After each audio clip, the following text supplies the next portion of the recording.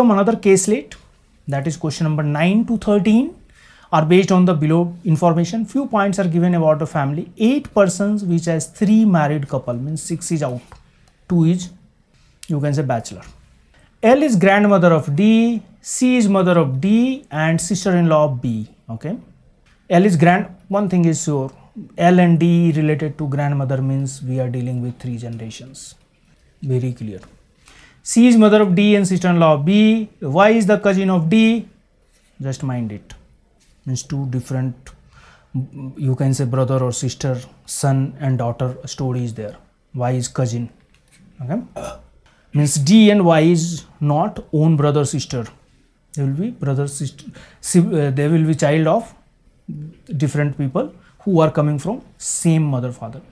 A is mother of m and grandmother of y. Y is the niece of x who is the son-in-law of l family persons A, B, C, D, L, M, X and Y. These eight persons are there.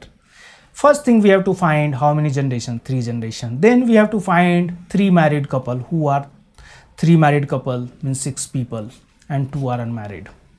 Just we'll try to understand based on this flow diagram D to C, C to L. Then here L, L will be at topmost means top generation or you can say grandfather generation. And we know it is given grandfather then it will be plus. A will be minus because it is given already. We are not doing anything from a is the mother of m and grandmother of y. Okay? Y and d are same generation. Grandmother is m means what is meaning? M is the wife of l. A not here. M i am telling. Here it is given a. A is mother of m and grandmother of y. If y and d are cousin to each other and they are differentiate, differentiated by two generation to a and we know here only three generation is there means a must be wife of whom? Means L and A. This is first understanding we have to learn here. L and A are father and mother you can say husband wife. His may be different uh, this will be there like son and daughter. Only here confusing point is there. We have to decide gender of the person whatever given. Which is decided? C is the mother of D. If C is the mother of D what is meaning? C must be minus or you can say somewhere wife of somebody. Now X is already given about X also. Y is the niece of X who is the son-in-law of L. Son-in-law of L is X means C must be daughter of L and A. C is the daughter and X is son-in-law. C and X are husband wife and their kid is D.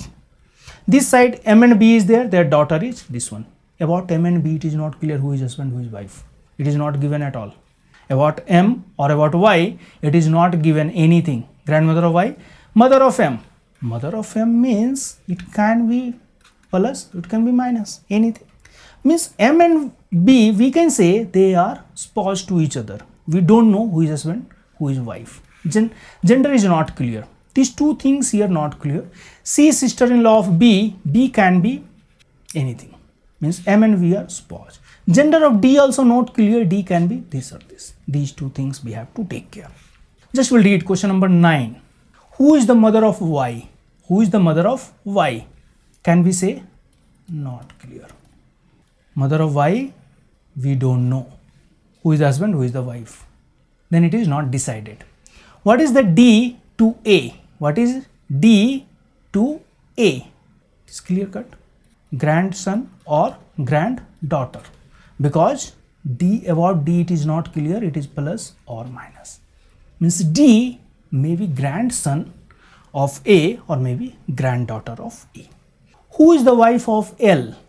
No confusion. What is Y to L? What is Y to L? That is very clear. It is a grandparent or grandfather. It is given about L means grandfather. Who is the spouse of B? M. M and B are spouse to each other.